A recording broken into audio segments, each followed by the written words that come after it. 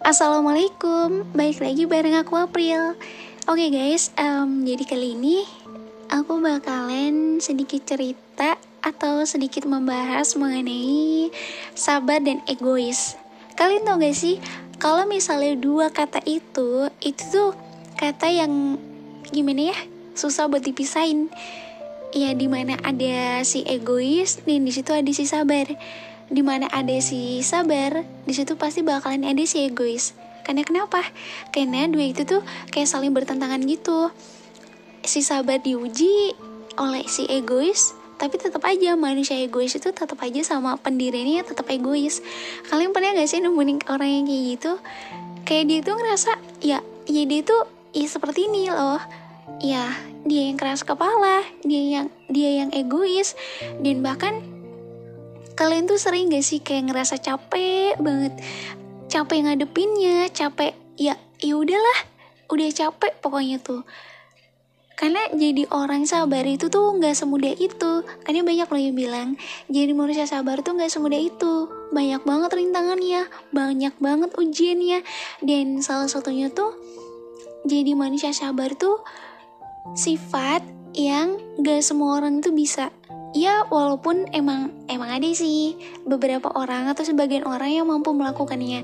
Tapi kan kalau misalnya kita ngelakuinnya secara benar-benar tulus benar-benar ngejadiin kalau sifat sabar itu adalah salah satu sifat terbaik itu emang agak susah. Kalau misalnya ini dalam siklus hubungan kalian sama pasangan kalian nih salah satunya itu um, kamu yang egois dan dia yang sabar karena suka ngerasa gak sih? Kok kenapa ya? Dia itu sabar banget ya. Kenapa ya? Dia itu kok gak pernah marah bahkan um, apa pun kekurangan kamu apa pun baik buruknya kamu dan bahkan dia juga rela kan jadi pelengkap buat kamu di saat kamu kurang di saat kamu sedang merasa down dan dia selalu support kamu dan selalu sabar sama sifat kamu. Sifat egoisnya kamu dan keras kepalanya kamu. Iya emang sih, untuk ngadepin manusia yang egois dan keras kepala seperti itu, itu tuh agak susah. Susahnya itu gimana ya? Um, mungkin karena emang udah pembawaan yang seperti itu, jadi di saat pasangan kamu atau di saat kamu nemuin orang yang dia sifat egonya tinggi, keras kepala. Kalau misalnya kamu adepinya dengan cara keras, keras kepala juga dan egois juga, itu semua gak akan balance. Jadi salah satu tuh harus mempunyai sifat yang sabar.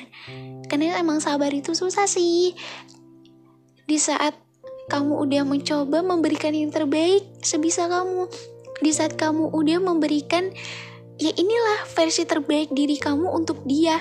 Tapi dianya malah kayak apa sih? Kayak nggak nganggep lah atau sering berulah lah. Atau ya dia tetap sama pendirian dia yang penuh egois dan keras kepala. Kadang capek sih kalau ngadepin manusia yang kayak gitu. Tapi balik lagi kadang orang tuh kalau misal udah sayang kadang orang tuh kalau udah bener-bener eh udahlah bagaimanapun dia bagaimanapun sifat dia, ia sebisa mungkin buat terima, sebisa mungkin buat tetap bertahan. Tapi kan kadang si sabar juga punya rasa sabar kan, punya batas kesabaran. Manusia sabar juga bisa lelah loh. Manusia sabar juga bisa capek dan bahkan dia juga bisa menyerah. Itu semua baik lagi. Kalau semisal ia itu sabar, ia itu tulus, ia nggak akan ninggalin kamu bagaimanapun sifat kamu, bagaimanapun kelakuan kamu, walaupun kamu sering berulah, walaupun kamu sering bertingkah, tapi dia apa? Dia tetap maafin kamu, dia tetap sabar sama sifat kamu, dan bahkan dia tetap ngalah, mengalah apa pun itu, cuma karena apa? Karena dia nggak mau perdebatan itu muncul, karena dia nggak mau pertengkaran itu muncul. Kayaknya gini, kalau salah satu dari kedua orang atau kedua pasangan itu nggak ada yang mau ngalah, itu nggak ada yang punya rasa sabar yang tinggi, apalagi ngadepin manusia yang egois dan keras kepala, itu tuh gak akan balance. Jadi yang ada bakalan sering bentrok lah bakalan sering cekcok lah dan bakalan sering debat-debat. Dan alhasil apa? Timbulnya rasa bosan akhirnya yang terjadi perpisahan gimana ya kadang orang yang keras kepala tuh agak susah buat di handle nya ya kalau emang kita nggak sabar-sabar banget sih agak susah untuk ngebalancein sama sifat dia. Kita yang sabar dan dia yang egois dan keras kepala. Tapi pernah gak sih kamu tuh mikirnya tuh, um, kamu tuh selama ini tuh udah berusaha ngasih yang terbaik buat dia. Tapi kenapa ya balasan itu kayak gini? Kenapa ya apa yang kamu lakuin, apa yang udah kamu perjuangin, dan apa yang udah kamu korbanin buat dia, tapi malah ya ya seperti ini. Ya udahlah. Dan dia responnya hanya ya inilah gue ya inilah saya. Saya emang seperti ini. Saya yang egois keras kepala cuek. Kalau emang gak terima ya udah. Pilihannya cuma dua bertahan atau pergi. Hah, agak susah sih kalau ngadepin manusia yang seperti itu. Karena buat jadi orang yang sabar juga gak semudah itu. Karena di mana seseorang udah tulus, sayang, dan emang bener-bener dia itu pengen buktiin kalau gak semua manusia itu sama. Gak semua laki-laki itu sama, dan bahkan gak semua wanita itu sama. Tahu gak sih? Kalian tuh sering banget berusaha sering banget ngorbanin diri kalian sendiri, perasaan kalian cuma karena ya kalian ngalah supaya terhindar dari perdebatan. Seharusnya tuh kamu tahu kalau misalnya aku um, udah bilang mau tidur, udah bilang aku capek, dan udah bilang yaudah ya lebih baik aku istirahat itu tuh aku tuh menghindari namanya perdebatan. Aku tuh menghindari yang namanya pertengkaran. Supaya apa?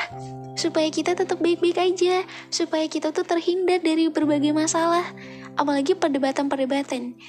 Kamu tahu gak sih? Kita itu sering loh.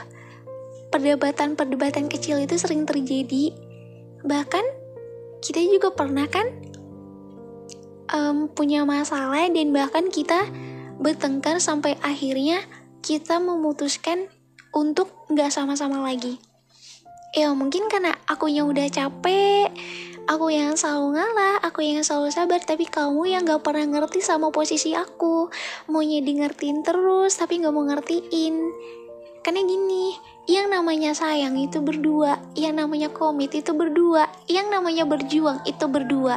Dan kalau misalnya hanya salah satu aja yang ngelakuin, dan hanya salah satu aja yang ngerasa tulus, sayang, berjuang, itu tuh gak akan balance ke keduanya.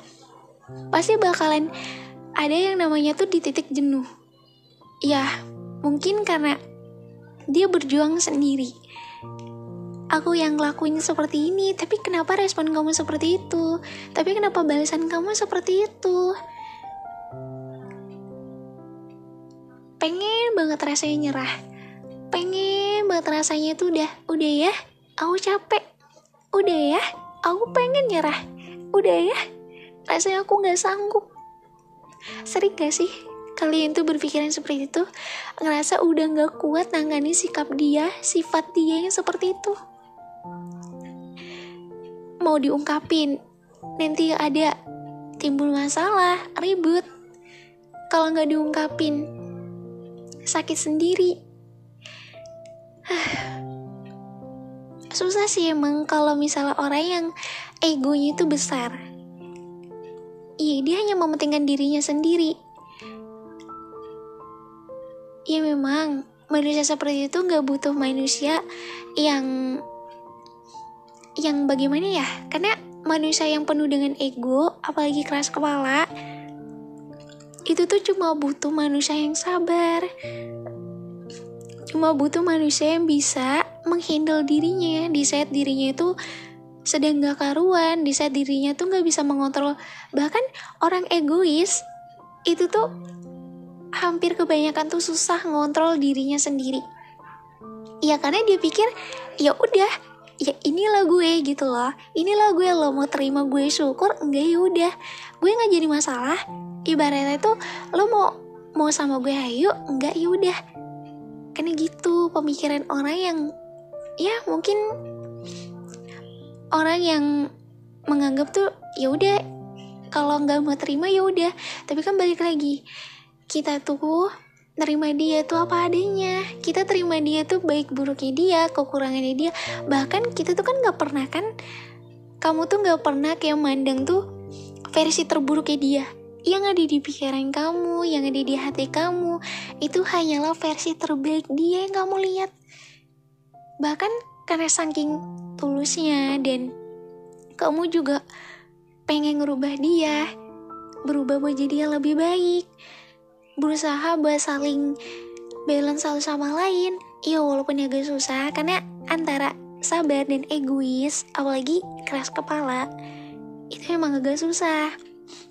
Tapi untuk kamu yang mempunyai sifat seperti itu egois dan keras kepala aku tahu kok ya mungkin gimana ya? Agak susah. Pasti kamu susah kan menghandle diri kamu sendiri? Pasti kamu kesulitan kan? Dan kamu pun butuh seseorang yang bisa menghandle kamu. Butuh seseorang yang bisa mengcover kamu di saat ya kamu sedang seperti ini. Tapi kamu pernah gak sih mikirnya kalau yang sabar juga itu bisa loh dengan tiba-tiba pergi gitu aja. Yang sabar itu bisa juga loh, dengan tiba-tiba nyerah gitu aja. Iya emang awalnya dia bilang, ya aku bakal selalu sabar, aku bakal selalu stay, dan aku bakal selalu seperti ini. Tapi kan gak tahu, Allah itu mudah membolak balikan hati manusia. Mungkin yang tadinya dia adalah manusia yang paling sabar yang kamu temui, manusia yang paling baik yang pernah kamu temui. Tapi kan gak tahu ke depannya bagaimana. Karena yang sabar juga bisa lelah, yang sabar juga bisa capek. Kalau misalnya, ya dia nggak dihargain. Apa yang dia lakuin selama ini gak dilihat sama sekali sama kamu. Tahu nggak? Kehilangan orang yang sabar itu jauh lebih menyakitkan dibandingkan kehilangan orang yang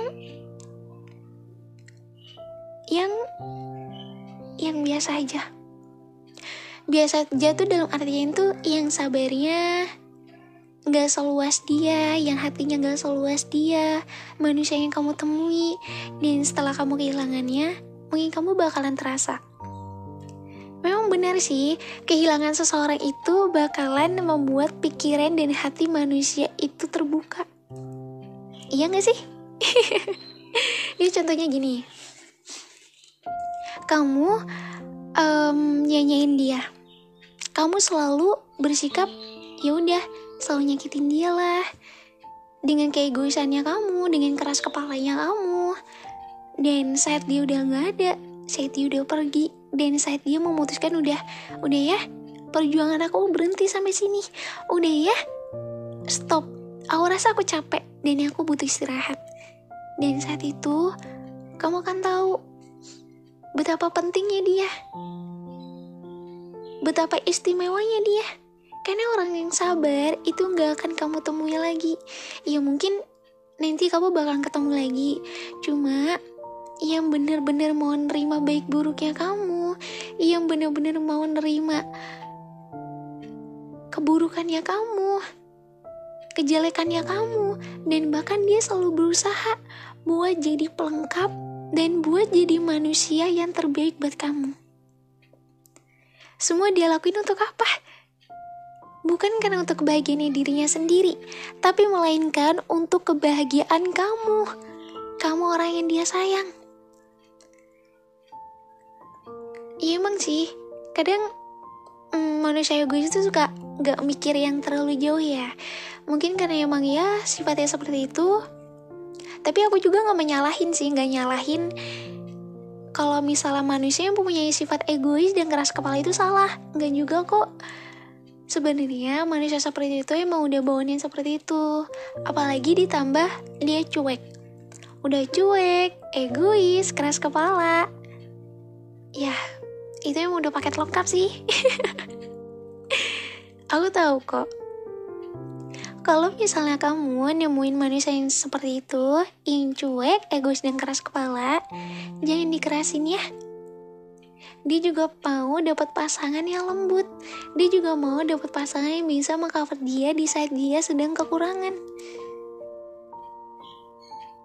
Aku tahu kok. Ya, emang sih manusia egois, cuek, apalagi keras kepala, itu tuh emang gak bisa gak bisa mengidentifikasi dirinya sendiri. Gak bisa yang ngenalin dirinya sendiri gak tau kenapa ya sifatnya emang seperti itu. Ya emang manusia egois itu cuma butuh manusia yang sabar untuk jadi pelengkapnya. Tapi seegois egoisnya kamu keras kepalanya kamu dan bahkan secuek-cueknya kamu semua itu bukan halangan untuk kamu merubah kan? kalau emang kamu sayang sama dia, kalau emang kamu menghargai perjuangannya, menghargai pengorbanannya selama ini dia kasih buat kamu. Gak ada salahnya kan buat mencoba buat berubah. Seenggaknya gak usah banyak-banyak, seenggaknya dikit aja. Yang penting kamu udah nunjukin kamu tuh bisa berubah. Karena gak selamanya juga kan yang cuek bakal cuek terus, yang egois bakal egois terus, yang keras kepala pun bakalan keras kepala terus. Kalau emang ada manusia yang bisa mengcover dirinya, yang bisa uh, balance sama sifatnya, kamu juga sepi, sepemilik sifat itu yang cuek, acuh dan mudah amat, egois, kamu juga nggak bisa selalu memprinsip ya inilah gue inilah sifat gue. Iya lo mau terima syukur enggak ya udah jangan seperti itu. Karena kebahagiaan itu berdua komit itu berdua. Sejak dari awal kalian udah sama-sama komit bukan? Komit untuk saling ngejalanin hubungan sama-sama suka dukanya bahagia bareng dan saling terima apa pun itu baik buruknya pasangan kalian. Iya kan? Jadi, kalau emang kita mau mendapatkan bahagia yang semestinya, kita harus bekerja sama untuk menciptakan kebahagiaan itu. Kurangin egonya, kurangin keras kepalanya, dan kurangin cueknya cuek boleh. Tapi kan seenggaknya kalau ke orang yang disayang itu harus beda. Jadi harus ya bukannya nggak terima gitu ya kamu cuek. Aku nggak mau kamu cuekin. Ya bukannya gitu seenggaknya tuh yang cuek juga nggak samanya cuek kan? Kalau emang kamu beneran mau berubah dan buktiin ya inilah kamu tuh tulus. Seenggaknya berubah nggak usah banyak-banyak sedikit aja itu udah buat manusia si sabar itu udah sangat-sangat seneng.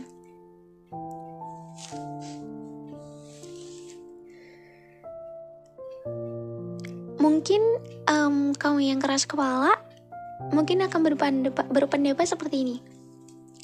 Sekeras-kerasnya batu, kalau ditetesin air terus-menerus, dia bakal luluh juga, dia bakalan hancur juga, dan dia bakal pecah juga. Itu benar. Baik lagi, kalau misalnya manusia yang sabar itu kuat ngadepin kamu, dan dia masih tetap stay dan bahkan bertahan sama kamu, itu bakal bisa terjadi. Karena emang gak selamanya tuh manusia yang keras kepala itu bahkan selamanya keras. Kalau emang kitanya yakin, kitanya sabar, dan kitanya berusaha buat bikin dia berubah, batu yang tadinya sekeras apa pun itu bakal bisa terbelah juga. Dia bakal bisa hancur juga. Tapi ingat satu lagi. Untuk mencapai akhir yang bahagia itu harus didasari oleh dua orang yang saling membahagiakan satu sama lain.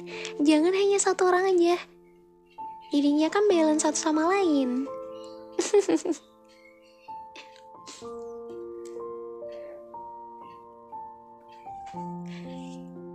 kalau misalnya pasangan kamu misalnya orang yang kamu temui saat ini dia sudah memberikan yang terbaik sebisa dia.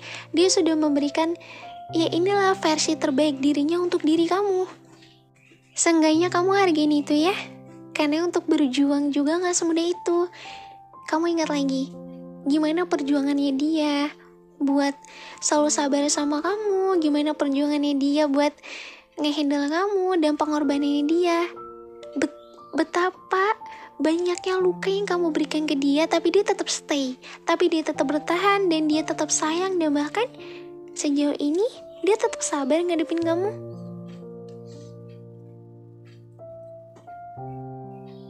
Dia emang gak pernah gak pernah ngomong seberapa banyak luka yang kamu kasih buat dia seberapa banyak kesalahan yang kamu kasih buat dia dia emang gak pernah ngomong itu semua karena apa itu semua gak penting. Yang jauh lebih penting itu kebahagiaan kamu.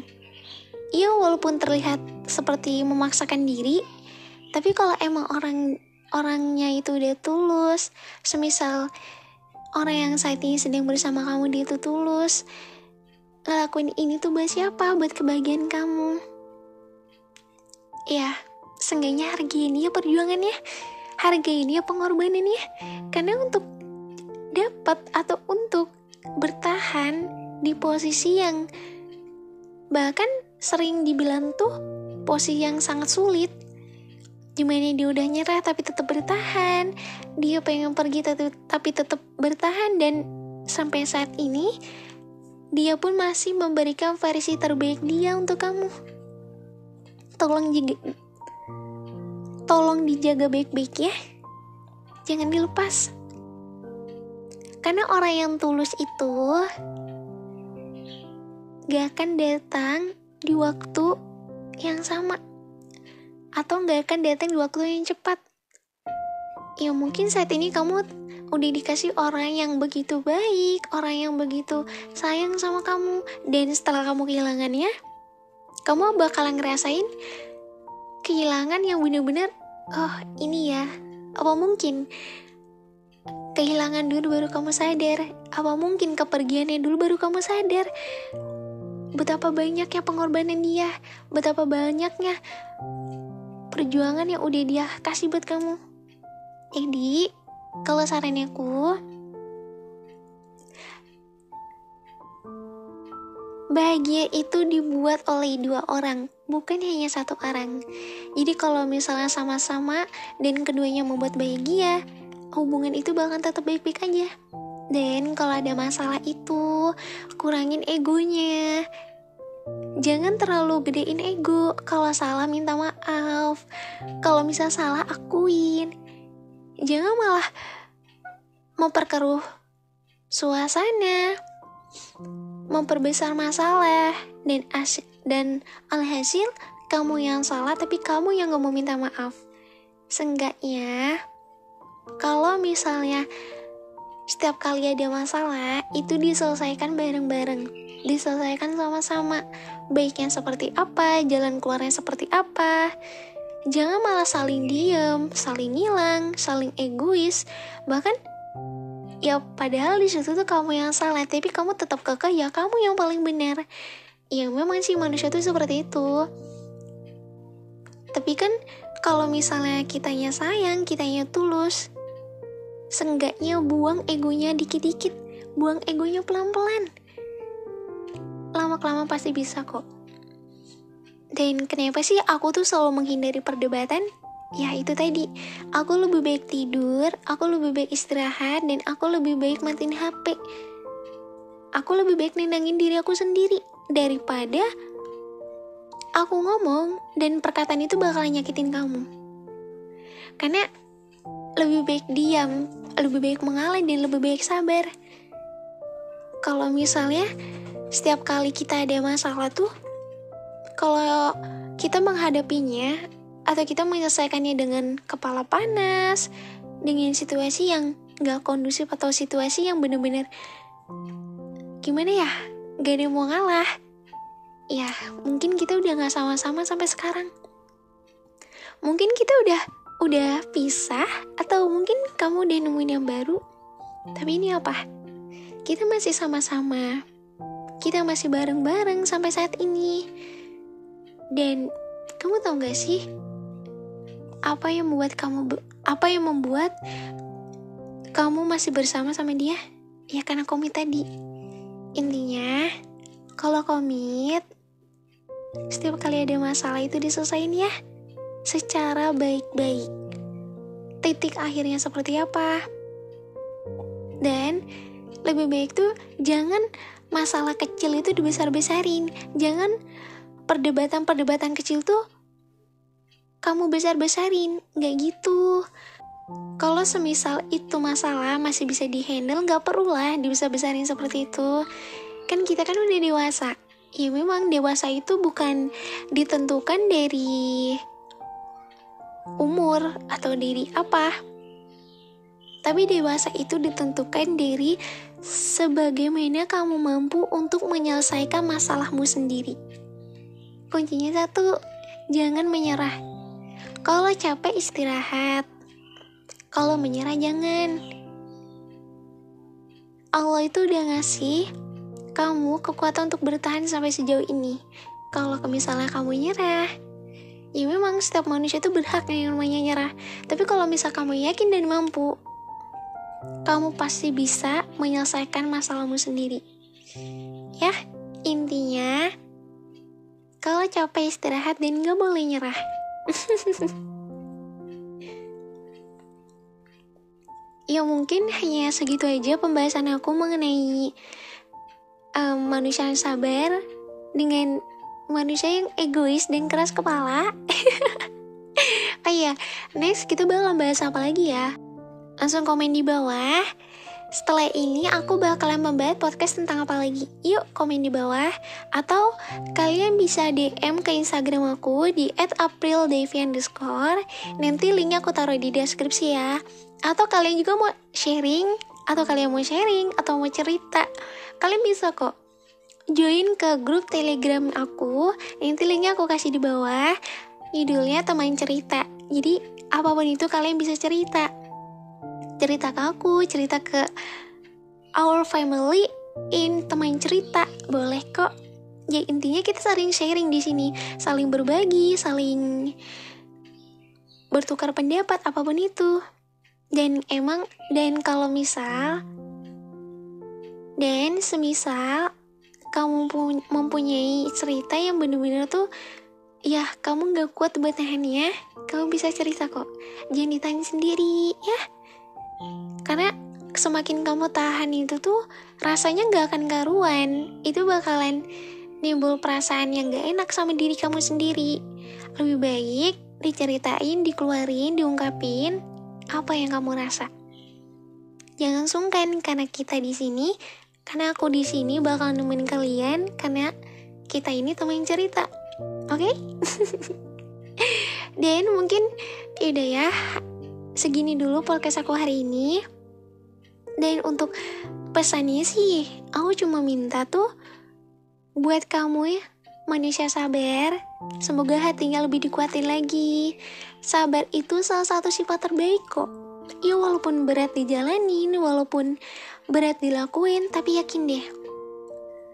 Di balik rasa sabar kamu yang meluas, hati kamu yang luas, nanti Allah bakalan kasih kamu yang jauh lebih baik dan jauh lebih membahagiakan. Dan untuk kamu yang manusia cuek, egois, keras kepala, kurang-kurangin ya egoisnya, kurang-kurangin keras kepalanya. Seenggaknya tuh egoisnya nih, karena kalau misalnya apa-apa kita main ego, gede-gedein ego, itu tuh juga nggak akan bagus dan ya seenggaknya kurangin lah, ya. Karena kalau misalnya gede ego juga nggak baik loh. ya udah mungkin hanya segitu aja podcast aku kali ini. Sampai bertemu lagi di podcast aku selanjutnya. And see you.